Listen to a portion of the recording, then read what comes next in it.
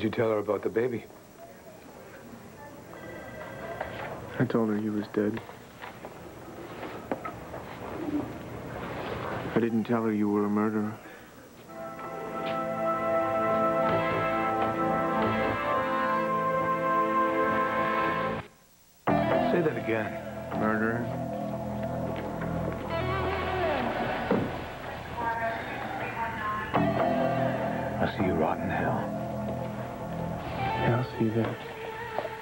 Please, please don't do this.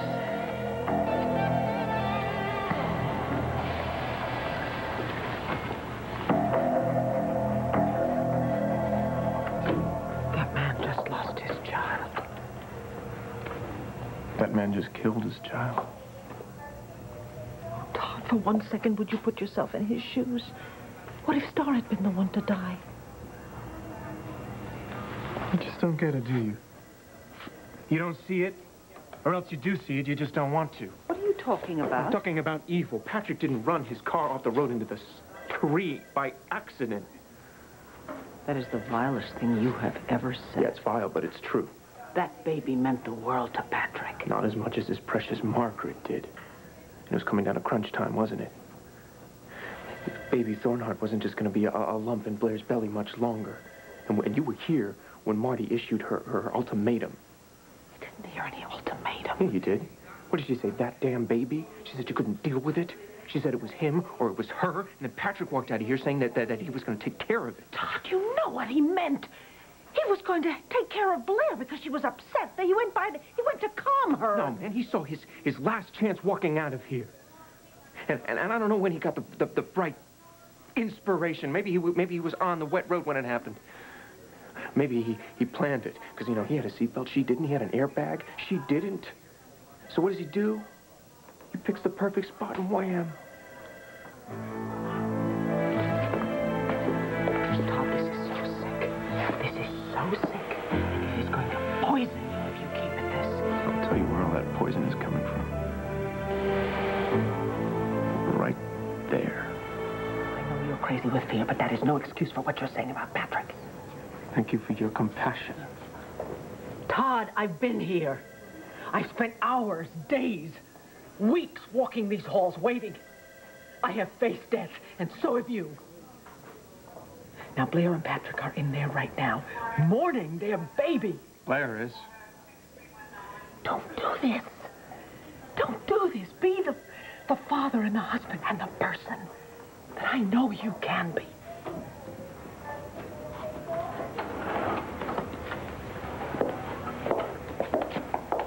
Patrick, how is Blair? She's empty. Is she in a lot of pain? Her heart's broken. Yeah, I guess it is. I'll, I'll come back tomorrow and check on her, Viki, okay? Okay. You stay the hell away from her. You turn your back on me again, Patrick, it's the last time I'm gonna warn you.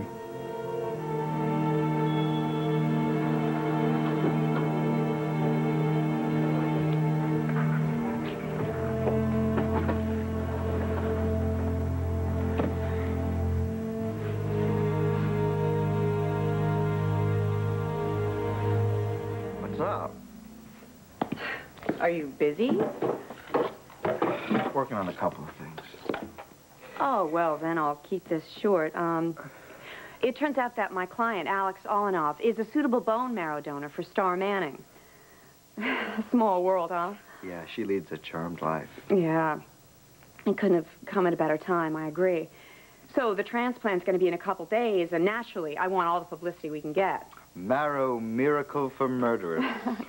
So will you do a story? Uh, I mean, she is saving a child's life. Mel Hayes is already doing that story, and I can't infringe. I'm sorry. You can ask him. Oh. Okay. That all you wanted? No. Uh, no, not really. If it's not too much trouble. I'd like to know what's going on between us, if anything.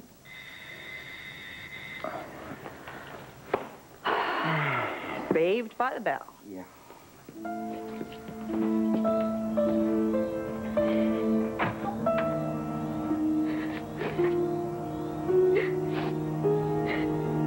left him. I walked out. I think I just got my answer. Téa, uh, Cassie and I are colleagues. I mean, it's natural that she would come over to discuss a problem with me if she had one.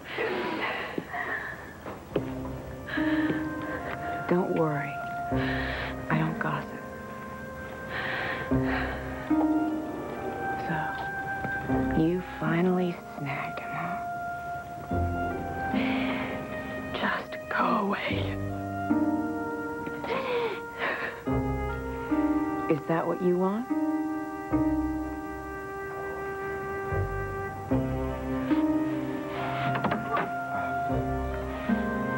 I'll see you tomorrow.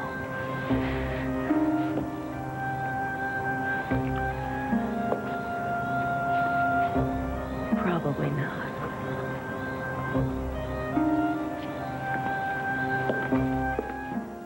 Hey, Tweety, I'm home. Huh. Thought you were dead. Thought I was gonna have to stuff you and nail you to a perch. You're a little rat, you know that? Come here. Feed the bird. Oh, what do you think I came home to do, you dolt? right here, too. Now, I want you to eat this, okay? Because this is breakfast. It's the most important meal of the day. Now, I'm sorry I don't have any clam sauce. Yeah. Don't mope on me, okay? You, you, you. Think you're the only one that's got troubles? What about me, huh? Think I something to get my feathers all ruffled about? Yeah, thanks for your compassion. I'll tell you what. I'm gonna leave you here, all right? Try not to brain yourself on the windows. I gotta get back to the hospital. Oh, now, come on. They don't allow your kind in the ICU, otherwise you could come. Well, I know how you feel, but you just can't go. I'll be back as soon as I can.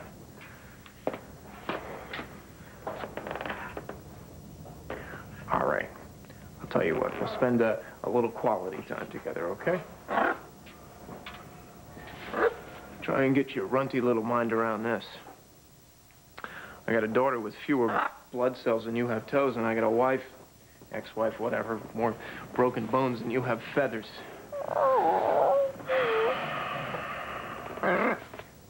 Now, you aren't bad company, you know that? Good bird. And you're modest, too. Tell you what.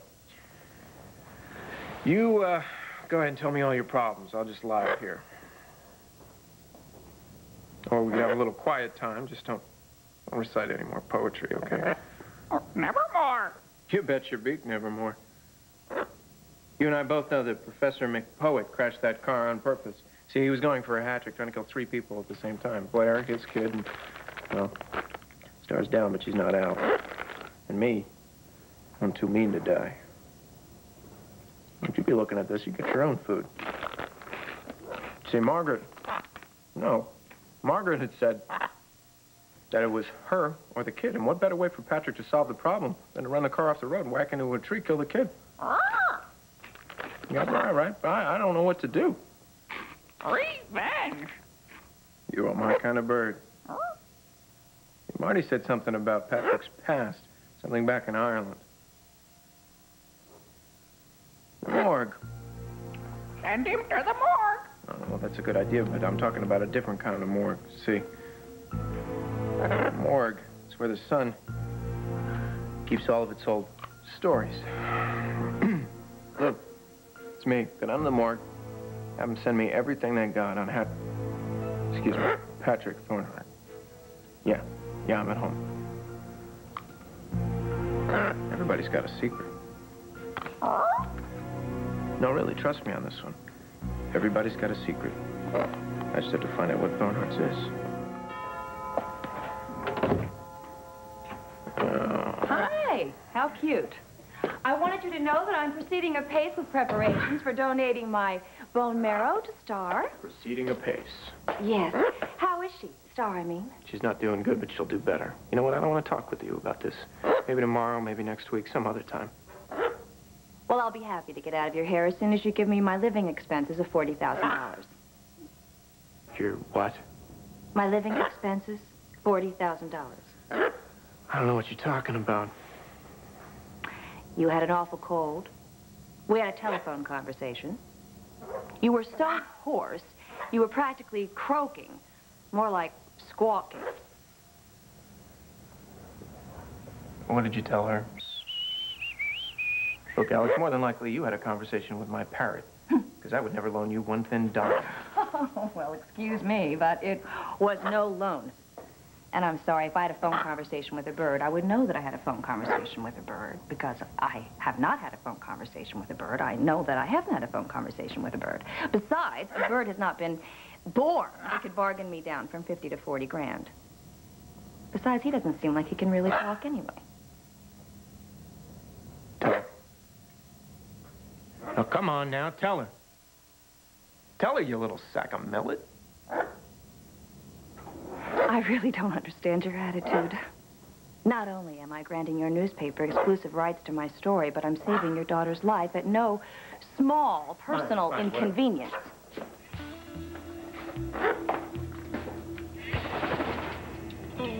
I know that you've been under awful stress, and I certainly understand ah. how extreme pressure can bring on delusions.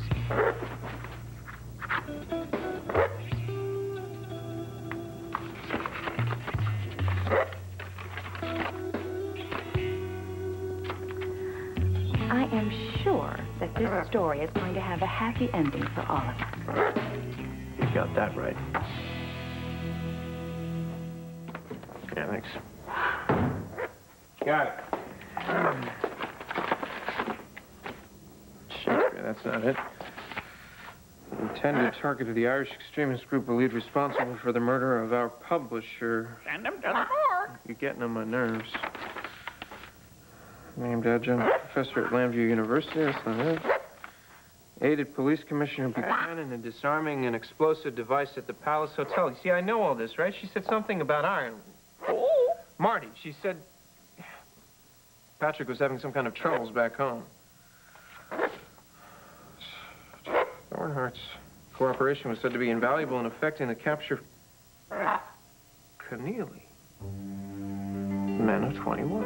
oh, The bad guys. oh, Oh, right, right. Who? right. No, no, just shut up for a second and, and listen to me. See, this guy here right here, he, he was the bad guy, right? The architect, the chief cook and bottle washer for the men of 21. This guy has like a million and one connections in Ireland. Right. Keneally is the man to see. Dublin Times, right? Oh, excuse me, Irish Times. How am I supposed to know? You're both in Dublin, right?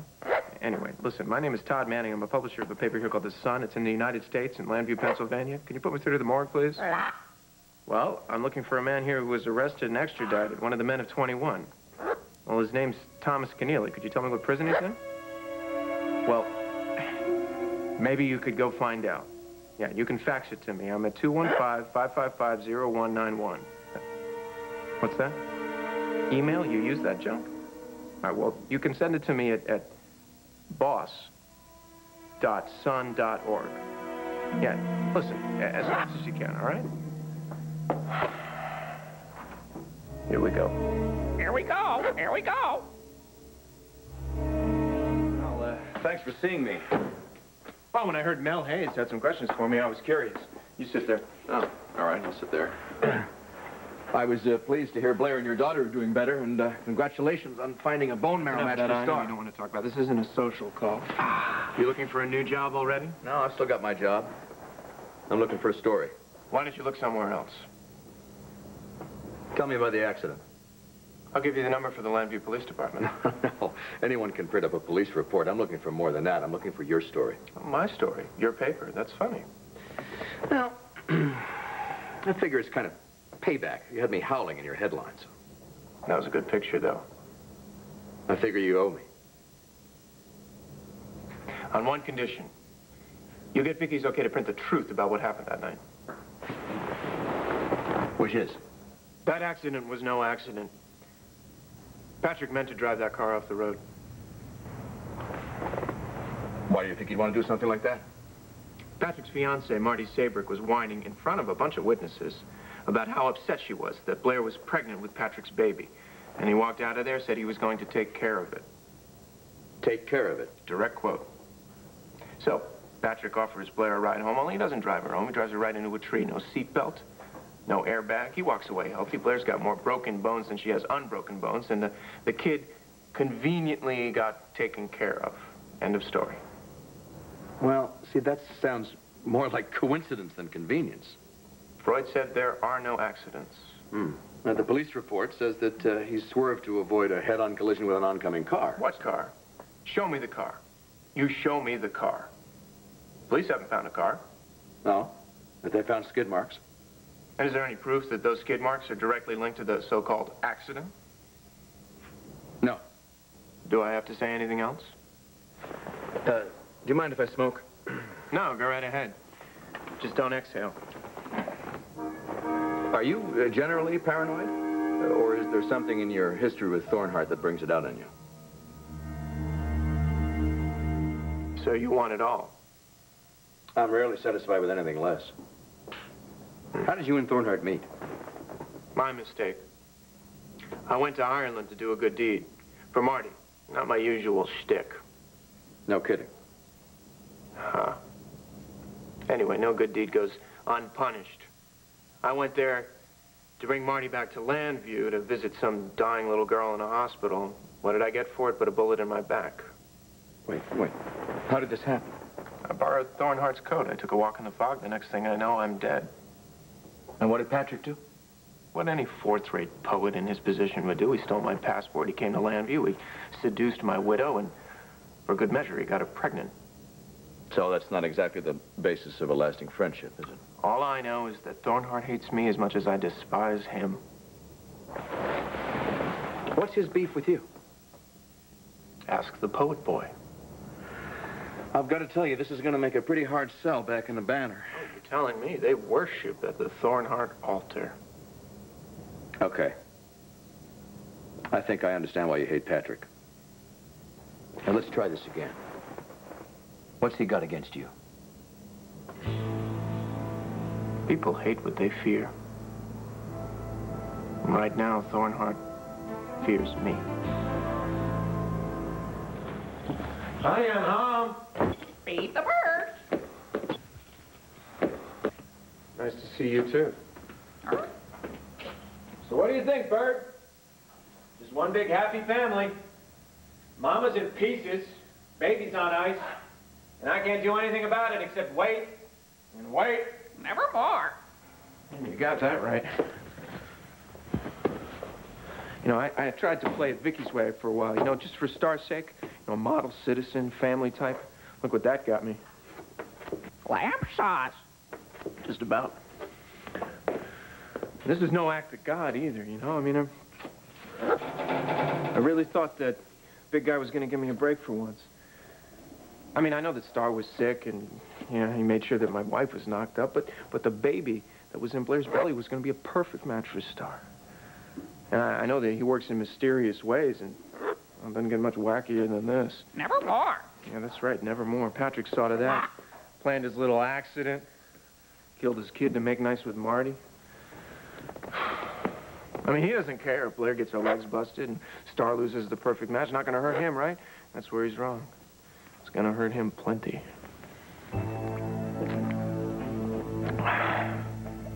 Just need some information. Can't ask Marty. I think the one person who knows what I need to know and who hates Thornhart as much as I do is Keneally, the leader of the men of 21. Keneally chased Patrick halfway around the world. Gotta know something about Patrick that would make him squirm. What? The lamb. No, not anymore. Patrick made sure he was in some kind of an Irish prison. Hello. Stop opponents of facts.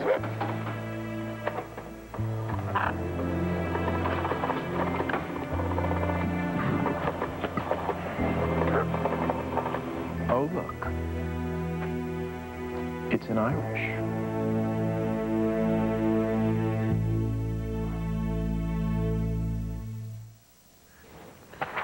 Things are looking up.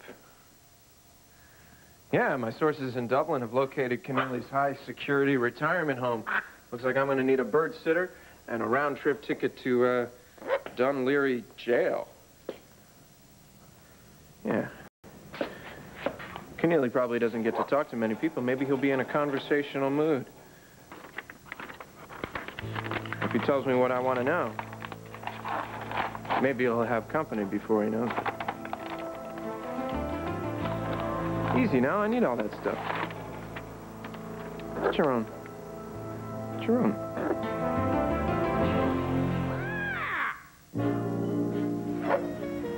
You said you wanted to meet Bird. There he is. You weren't kidding. That's a parrot. I, uh, need to ask you a little favor.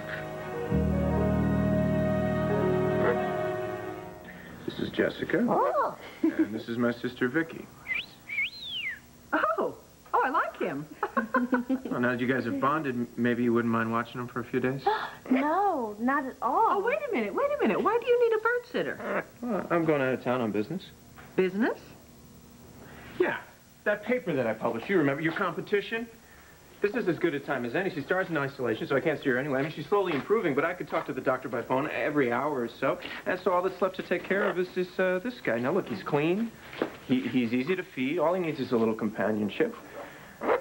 Now, don't worry, he's no trouble. Most of the time, you won't even notice he's there. And the rest of the time? Does he have another name besides Bird? Well, No. I've been calling him Admiral, but he has been ignoring me. The jury's still out on Larry. I guess he's a Laker fan. Todd, how long are you going to be away? I'll be back before you know it. Oh, yeah. Come on, Mom. Look how gorgeous it is. Todd is right. They do need company. No. Todd knows how to build a good case. Oh, all right. Good. I'll have his perch and his bird seed and his bird toy sent over in the morning. Just don't give him any clam sauce. Now, don't ask, but trust me on this one. I'm sure they're going to treat you just like one of the family. You'll be spoiled rotten in no time at all.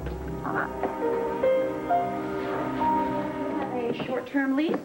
That's not what we originally discussed on the phone. Well, my plans have changed. I'm not sure how long I'll be in Llanview.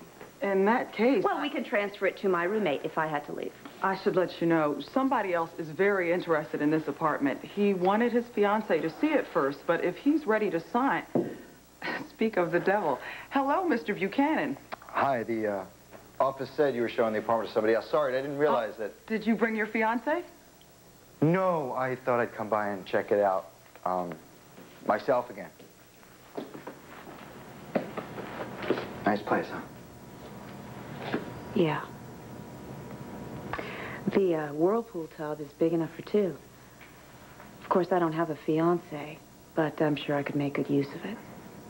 And the, uh, the indirect lighting on dimmers, very romantic. I would have said elegant, but that would suit you fine also. Yeah. Even the bathroom faucets have more class than some people I know. You two are acquainted. Good. Um, maybe you two can discuss this and, and work it out between yourselves. I need to speak to the building manager downstairs. I'll give you time to discuss this.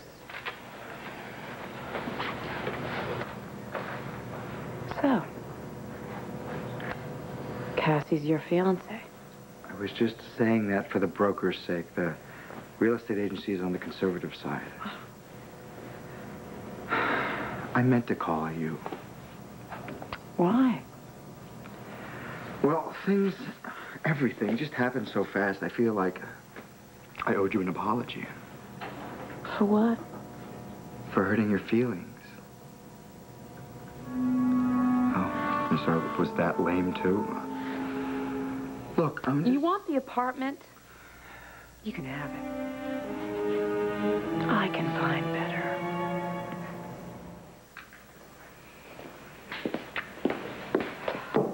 You're angry. Wait. At the risk of sounding dead. So why? You know what your problem is? You're a throwback, Kevin. It's the old Madonna whore thing. While you worked up a sweat between the sheets with me, you worshipped Cassie on her pedestal. You know, I, I wonder what's going to happen now. Because you can't be a Madonna after you leave your husband and child for your lover. Here's a prediction.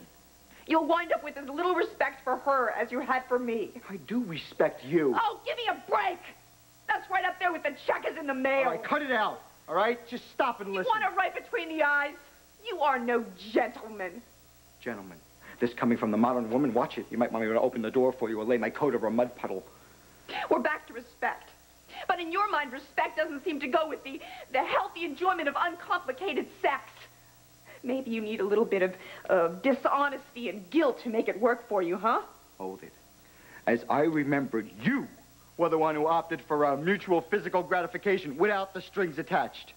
And as I remember, you felt the need to put me in my place when I had the temerity to suggest that maybe you should stick around, Llanview, because I thought we had something nice going on here. Well, obviously, I was wrong. I was supposed to read between the lines. You expected more. And I'm sorry. Don't give yourself so much credit. It's a pity, that's all. We could have had a lot more fun. but Cassie is so intense. Not exactly the fun type. It's huh? not about fun with Cassie. I'm sure. Poor Kevin. What I meant to say was that we are both committed. Yeah, but committed to what? You're stuck with the woman you conveniently thought was unattainable. And Cassie? Well, maybe I'm wrong, but I'd say she's committed to ditching her boring husband. So what happens after you've served that purpose for her, huh? You want to blame it all on me, fine, okay? But leave Cassie out of this because you really don't know her well enough to be judging her. And you are definitely not an expert on commitment. Touche. I'm sorry if you feel that I have been in any way dishonest with you. You know, the only thing, as far as I'm concerned, that has changed between us is that I'm just no longer able to act on my impulses. Because Cassie acted on hers. She did not act on impulse. This thing has been building for quite a long time. Oh, yes. She pounded and pounded on those prison walls until you came to save her. She must be very grateful. But are you willing to settle for gratitude? It's not about gratitude. Oh, well, then what is it about? You really want to hear it? Yes. She loves me. I love her.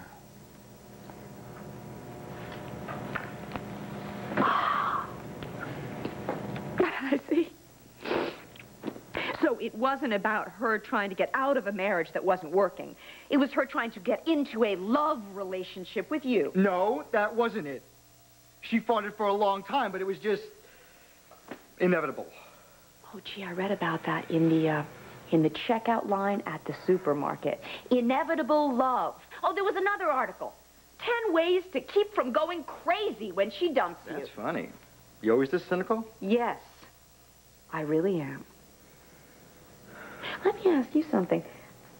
Has Cassie told you in so many words that she loves you?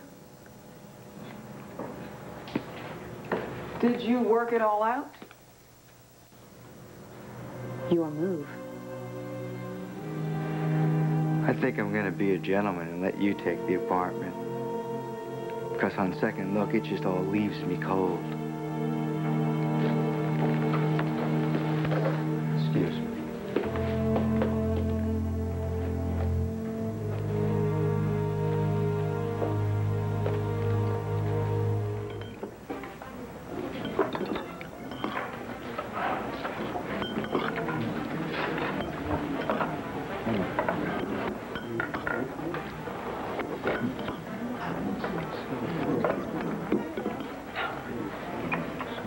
Did you hear that Cassie Carpenter left her husband?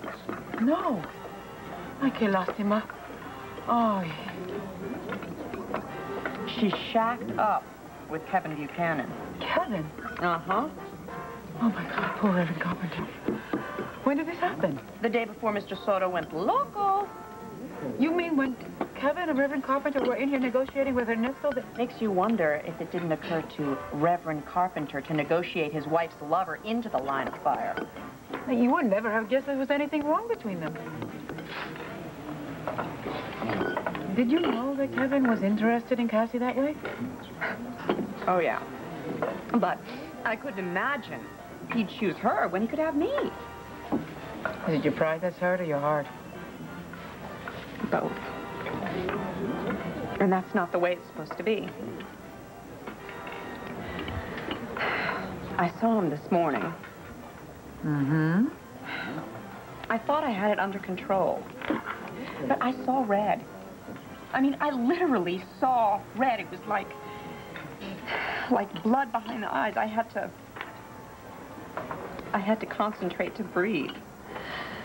And all this because of a man who treated me like a rented car. Love. It can be like that. Look, I don't fall in love, okay? Ouch. That's one of my cardinal rules. So you broke your own rule? Next time, I take what I want, and I don't give anything back. That way, I don't get hurt. That's no way to live, me, huh? When you put up a wall, you block out as much as you're blocking in. So I have a little door I can open when I choose. But if I start to get interested in a man, I will slam it shut. He hurt you that much, huh? Let me have some more of your excellent habichuelas.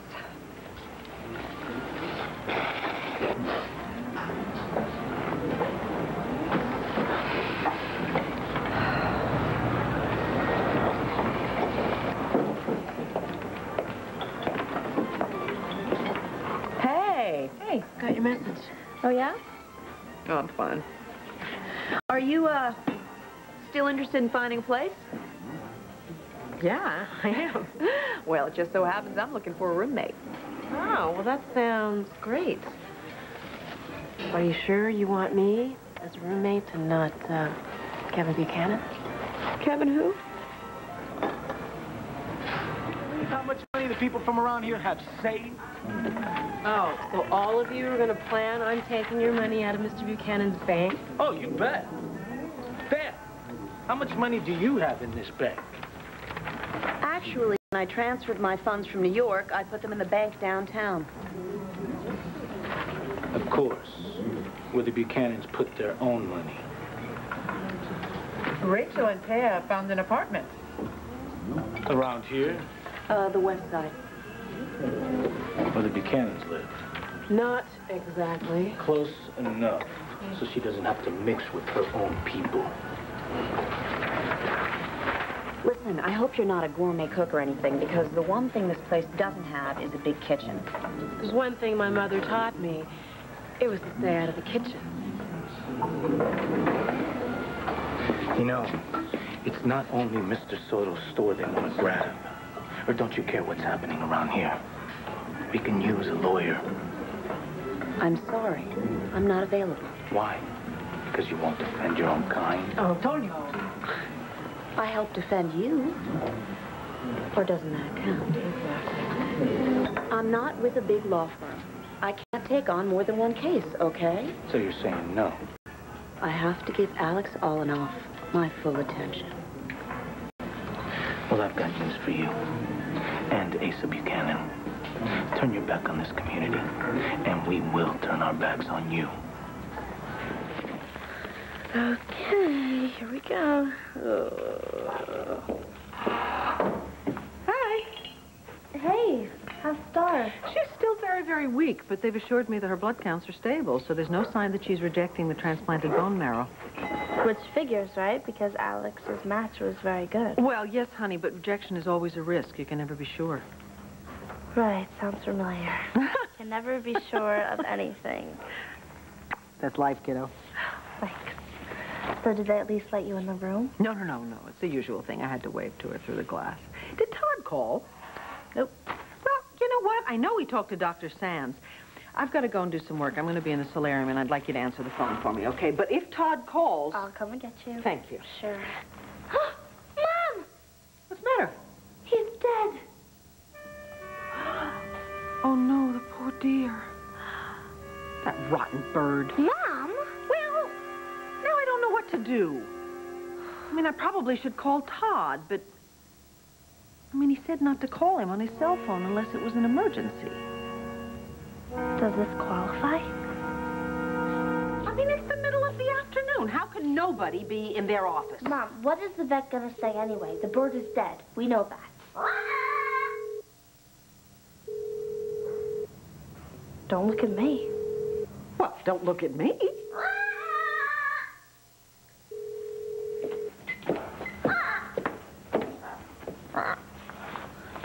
You big faker. Oh, you can count on Todd's bird to have a warped sense of humor. You scared us half to death. Oh, oh, oh, please, don't try and make it up to us. I got your number now, pal, and we are far less easy to manipulate than that. We are far less easy to manipulate. Oh, never mind. Mom, look how cute he is. He's asking us for his forgiveness, right?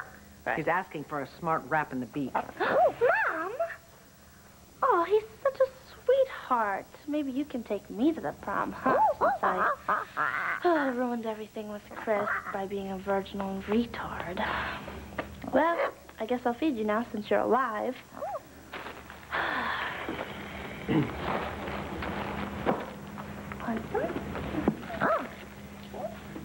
I trust you will inform me of any more avian emergencies that might arise. Okay, I'll feed you in a little bit. Okay. Oh.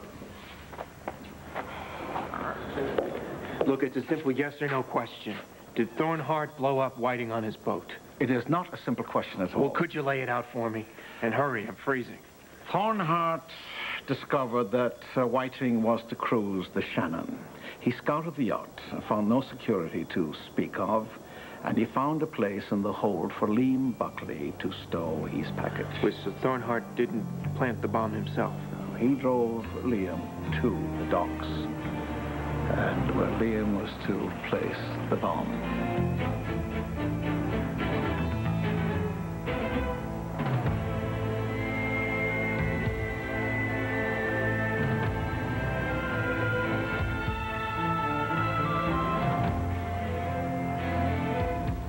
Paddy would finally exact his revenge, but it cost him the life of a good friend.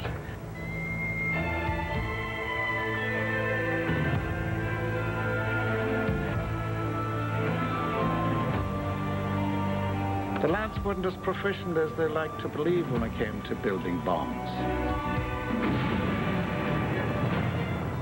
As Liam was stashing it aboard, it blew. Two crew members were knocked overboard and injured. Liam was killed instantly, but he took his target with him. Whiting was asleep in his stateroom. Doesn't sound complicated to me at all. It's exactly what I thought. Thornhart is a murderer. Thornhart is as guilty as his blown to bits pal Buckley. It's premeditated. He was an accomplice. I think you should get the rap for it.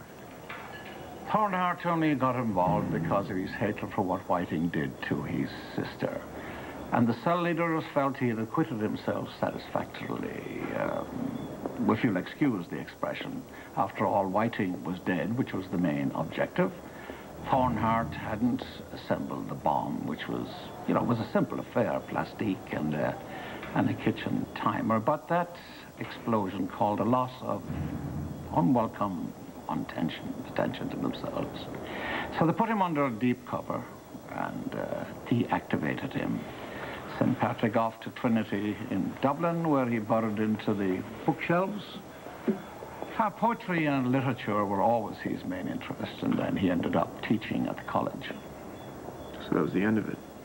No, they tried to reactivate him uh, a few years ago, but he'd have none of it. Which was a pity. Uh, the boy had a natural inclination for it. What, being a terrorist? Uh, well, he was a born leader. Uh, he could have taught them a lot. You sound almost sorry about it. Professional respect of a sort. He was on the other side. Oh, everybody is on my other side. What, are you some kind of an anarchist? exactly. What are you going to do with this story? Take it back to America and publish it? No, no. They'll put you and me right in the middle. Besides, it's too dicey.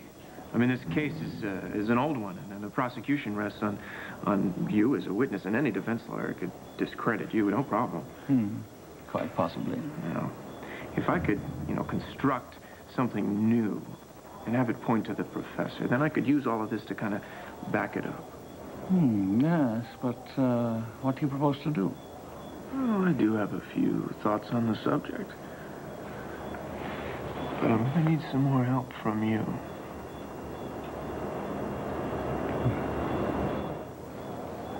Yeah.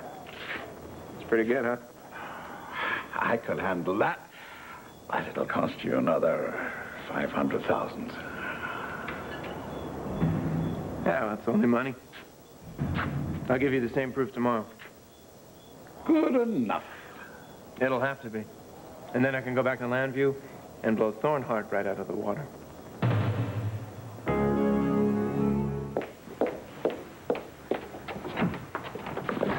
I want my bird back. I may never forgive you for this. Hi, I'll go get it. Your bird is in serious need of professional help. Guess it runs in the family. Yeah. He loves to play dead, which, of course, we only found out after we thought it was the real thing. Oh, he does that to get attention. Looks like it worked. You might have warned us. I guess it slipped my mind. But he, he, he's angry when he gets ignored, you see, and, and he's in touch with his emotions. I mean, he doesn't want to keep all of that anger bottled up, because where have I heard that before? I do not need to be on this end of my own advice. Hey, look, you just have to accept the bird for who the bird is and then move on, Viki. Yeah, you're asking for it. Yeah, I am. Come on. You really are. Let's go. Here he is. Hey, one step ahead of the taxidermist, huh? Guess you weren't too much trouble. I mean, outside of the practical jokes. No, he was a perfect gentleman. Well, I guess he likes you. is that good or bad? No, I haven't figured that out yet. Uh, right, right from the airport, right? I, I go straight to the hospital, put on my Mars suit, and I held Star until she fell asleep. She seems a lot better. She is, Ty. It's a miracle. Yeah. And I called Blair, too. Go visit her in her hospital tomorrow, I think. She seems better, too. So, how did your trip go? What? Meaning? Meaning I'm not going to discuss my whatever you want to call it with the competition. You're going to have to get a subscription just like everybody else. This jet lag is killing me. And after the hospital, I had a bottle of cheap wine. Can you get the birds stuff and I'll get them back to the bachelor pad? My pleasure. It will be my delight to go and get the paraphernalia.